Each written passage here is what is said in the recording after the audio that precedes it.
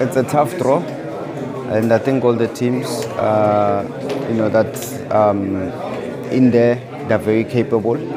Uh, all the groups, uh, there's quality teams. It was expe- expected to, to have a tough draw, and I look forward to uh, you know all the teams uh, you know competing. But uh, the most fixture that um, I look forward to is against it's Al Ahly against Orlando Pirates. The the difference is, is investment. Um, now CAF has, has you know um, put a lot of investment um, into the Champions League, uh, hence the growth, you know, hence the competitiveness, and which is good. It's good for football, uh, not only at club level, but also also at uh, national level.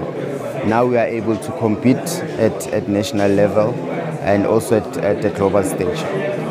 Very strong teams uh, with, with um, cup pedigree, and they can definitely go all the way.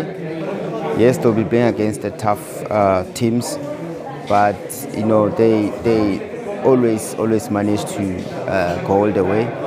So we'll see this season. I mean, with, with Orlando Pirates and Mamelodi Sundowns being there, uh, it's going to be a tough one that I look forward to.